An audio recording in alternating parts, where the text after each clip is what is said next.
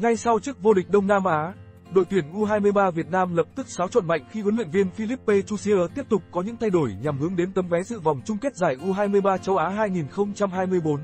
Trở về nước với chức vô địch giải U23 Đông Nam Á, đội tuyển U23 Việt Nam lập tức sang tên, đổi chủ.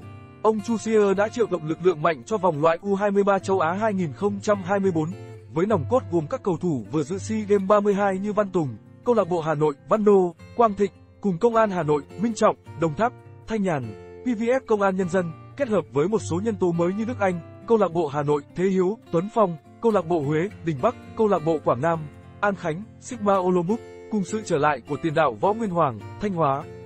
Ngoài ra còn có 10 cái tên gồm thủ môn Nguyễn Văn Việt, hậu vệ Trần Nam Hải, Nguyễn Hồng Phúc, Lương Duy Cương, Nguyễn Ngọc Thắng, tiền vệ Đinh Xuân Tiến, Võ Hoàng Minh Khoa, Khuất Văn Khang, tiền đạo Bùi Vĩ Hào và Nguyễn Minh Quang vừa được huấn luyện viên Hoàng Anh Tuấn trao cơ hội và chứng tỏ được mình ở giải U23 Đông Nam Á 2023.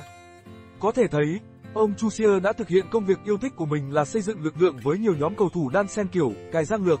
Những cái tên đã chứng tỏ được bản thân ở SEA Games 32 hiểu rõ triết lý lối chơi sẽ là chất xúc tác để kết nối với những tân binh vừa nổi lên ở giải U23 Đông Nam Á. Bình luận viên Vũ Quang Huy cho rằng, Tôi đánh giá cách ông Chusier liên tục trộn các đội tuyển U23 Việt Nam, bởi đây là điều rất tốt, với mục đích cuối cùng của các đội tuyển trẻ là tạo chân đế rộng để không bỏ sót nhân tài.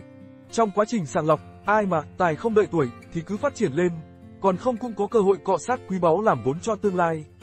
Đội tuyển U23 Việt Nam sẽ nằm bảng C vòng loại U23 châu Á 2024 cùng các đối thủ Yemen, Singapore và đảo Guam.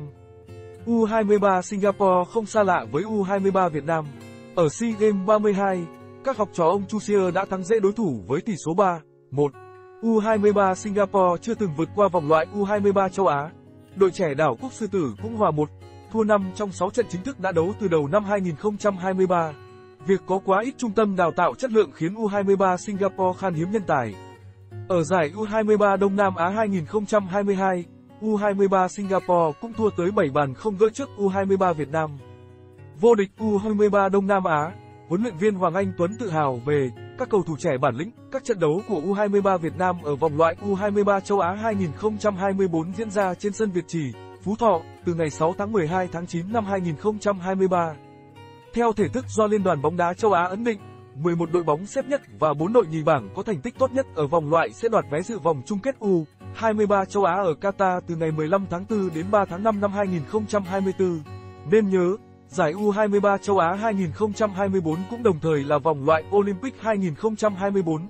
Vì thế bốn đội góp mặt ở bán kết sẽ có cơ hội đến Paris, đội xếp thứ tư sẽ đá playoff với đại diện châu Phi. Đó cũng là lý do huấn luyện viên Chusier khẳng định vòng loại U23 châu Á sẽ là ưu tiên thứ hai chỉ sau thành tích của đội tuyển Việt Nam ở vòng loại World Cup 2026. U23 đảo Guam là đội yếu nhất bảng. Với nền bóng đá chưa phát triển như đảo Guam, việc cử các đội trẻ dự vòng loại chỉ đơn thuần tích lũy kinh nghiệm, Đội bóng này khó tránh khỏi cơn mưa bàn thua, khi phần lớn cầu thủ không chơi ở đẳng cấp cao. U23 Yemen sẽ là đội bóng mà thầy trò huấn luyện viên Chusier phải lưu tâm nhất. Đại diện Tây Á từng hai lần góp mặt ở vòng chung kết U23 châu Á, toàn thua cả 6 trận.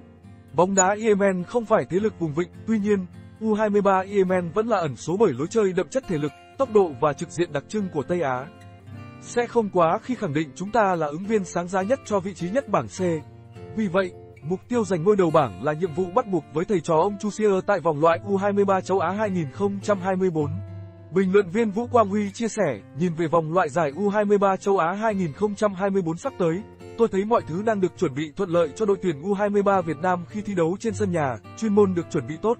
Tôi không chỉ kỳ vọng chiến thắng ở vòng loại, mà huấn luyện viên Chusier sẽ tiếp tục trình làng những nhân tố mới.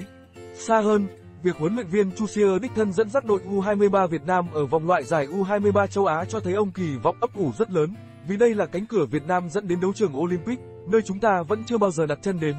Tôi hy vọng việc huấn luyện viên Chusier sàng lọc liên tục và đặt tầm mắt với giấc mơ lớn sẽ giúp đội U23 Việt Nam nhanh chóng trưởng thành hơn.